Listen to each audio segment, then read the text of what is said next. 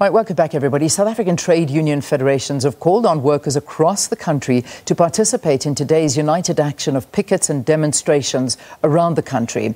The Congress of South African Trade Unions, that's COSATU, the South African Federation of Trade Unions, SAFTU, the Federation of Unions of South Africa, FEDUSA, and the National Council of Trade Unions, NACTU, have called on workers to join the one day strike. Workers have been asked to register their dissatisfaction with the country's socio-economic status by either joining the national strike in their regions or to stay away from work in support of the cause.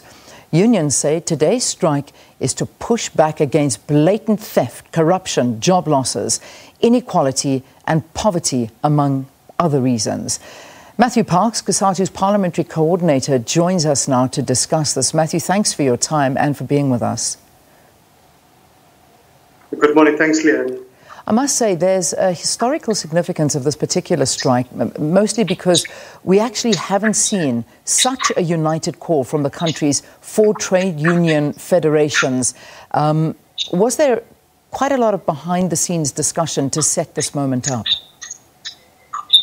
Yes, I mean, look, a strike is always a port of last call for workers. It's not an easy thing to go to. Um, it comes after exhausting negotiating processes. We had raised these issues as COSATU at NEDLAC with government employers, but on the frustration of workers about the collapse of public transport, the collapse of metro rail, the lack of health and safety conditions for workers to work in. We received fantastic support, Leanne, from our sister federations, FEDUSA and NACTU at NEDLAC, but even from SAFTU. Uh, we've received very positive support from the Council of Churches, from many progressive organizations like the Ahmed Kathrada Foundation, and really, the reception from workers, from our members, from unions across the country has been overwhelming. Workers are simply sick and tired of being abused. They're tired of the corruption. They're tired of the collapse of Metro Rail. They're tired of government and employers refusing to pay them their wages, retrenching them. So, really, is a protest today by workers across the country to say they are tired. They want government, they want employers to listen to the demands, to respond to them, and to deal with the issues. But they cannot simply accept this any longer. You know, obviously there this this strike and you, you, you, are wanting a commitment from government on something, on many, many issues. Obviously, corruption being the top of them. You've outlined a couple of them. But talk to us about this commitment that you want from government, looking particularly where we are at economically. Sure. Look, government has to get its act together. We are witnessing in the last few years, in the last decade, literally the collapse of government because of state capture and corruption. We feel government has honestly been far too soft on the issues of corruption. Politicians are putting their own bank balance ahead of the needs of the workers of the country.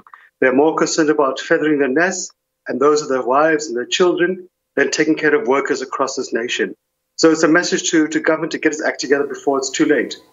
We support efforts by the president, but we really think we need to start seeing politicians being thrown into prison and the stolen assets returned to the public where it belongs. We simply cannot afford for workers to continue to pay the price of corruption. We've seen what it has done to Eskom, what it has done to SAA, what it has even done to SABC, many other state owned enterprises. And that's having huge impacts because now public servants are being denied, being robbed of the small little inflation increases because politicians and business people have stolen so much from the state, there's very little money left to go around. So, really, government has to get its act together. But equally, Leanne, our greatest crisis besides COVID 19 and corruption is unemployment. You saw in the stats last week that we have now pushed past 50% unemployment rate. 2.2 million workers lost their jobs in the last quarter. Business has to come to the party. The banks, the investment funds need to show a patriotic commitment to creating jobs. We cannot simply continue to throw workers under the bus every single week and retrench thousands of workers. Um, those are mothers and fathers who need to take care of the children and it's time we show solidarity as a nation to each other to get us out of this crisis. Obviously, there's been uh, support for your call, but there's also been some criticism leveled at what is about to happen today.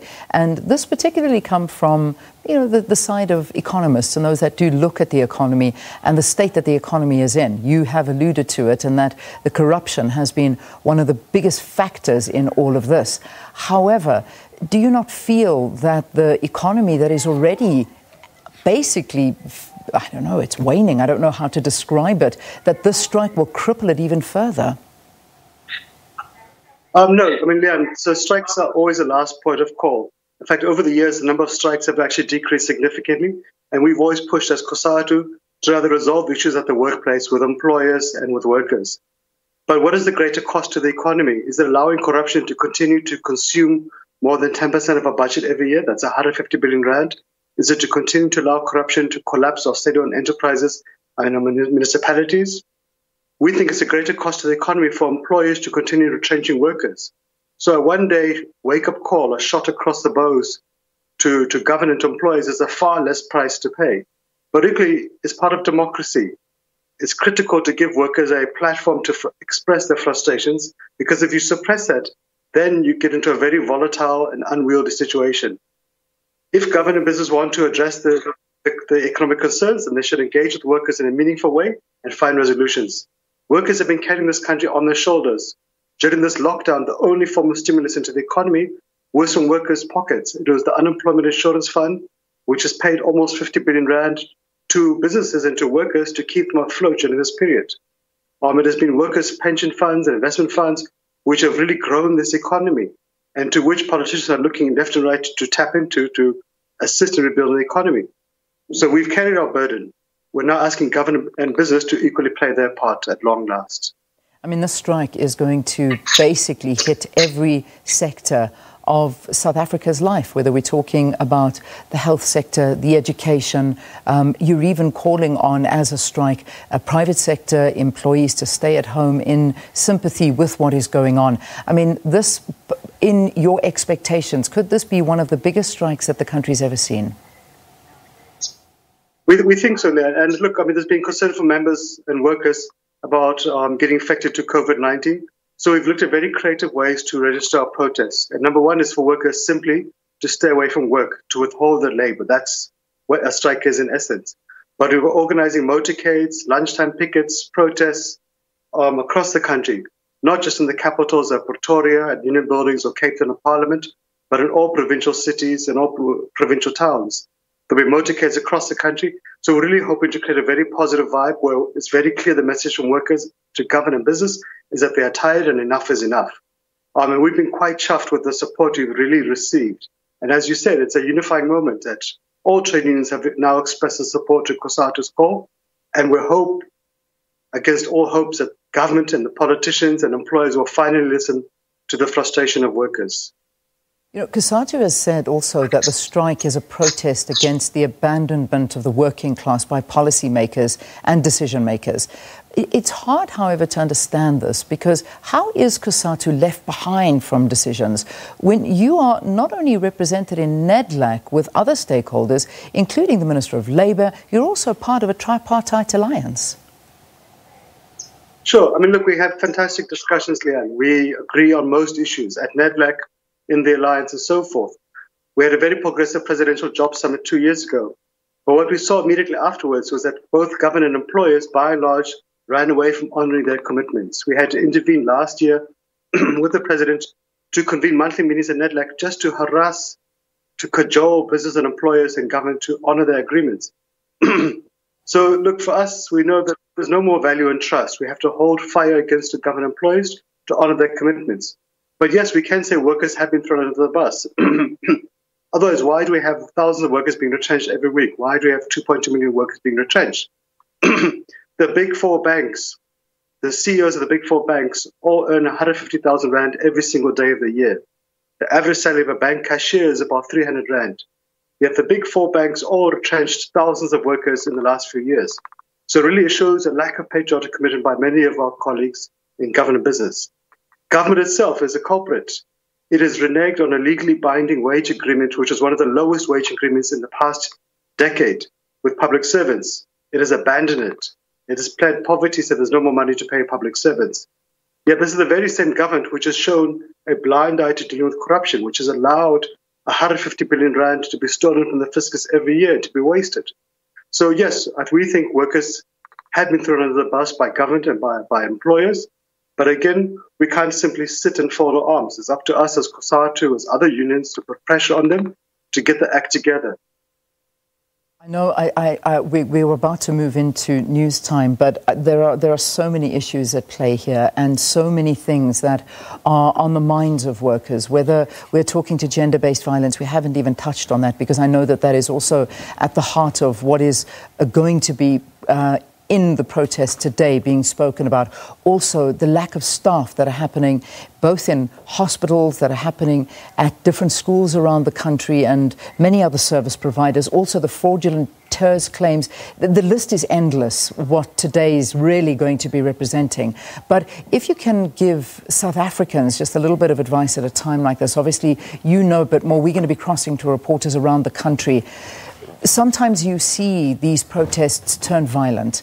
What have you said to your members? Will there be obviously warnings given to your members and other members of unions that if people do want to go to work and participate in the economy freely, they're able to do so, but sometimes we see them not going that way?